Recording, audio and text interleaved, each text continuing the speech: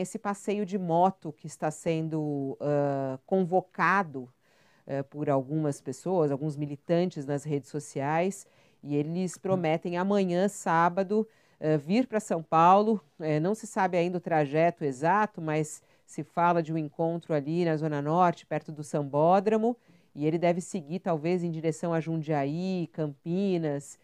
Queria saber aí a sua opinião a respeito disso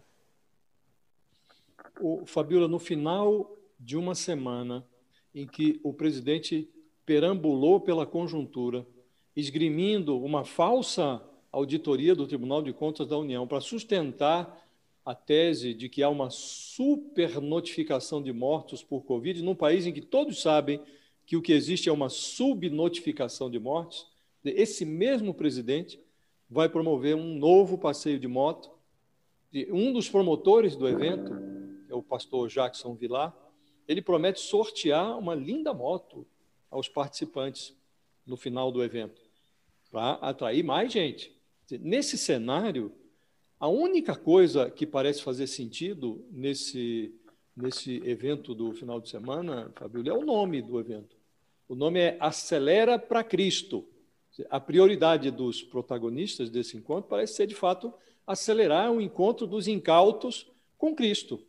O presidente está acelerando o encontro das pessoas que vão compartilhar com ele desse passeio, está elevando o risco de acelerar o encontro dessas pessoas com Cristo. Não faz o menor sentido. E você verificar que o presidente da República está estimulando esse tipo de coisa, é muito triste que a gente tenha chegado a esse ponto.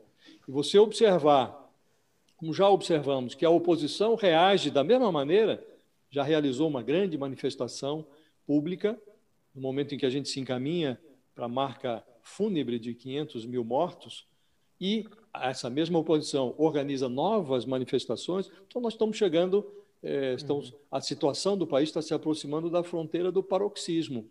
As pessoas estão é, perdendo o bom senso. Esse é o cenário. Então, mais uma vez, no final de semana, quem sabe a gente encontra lá o general Pazuello novamente.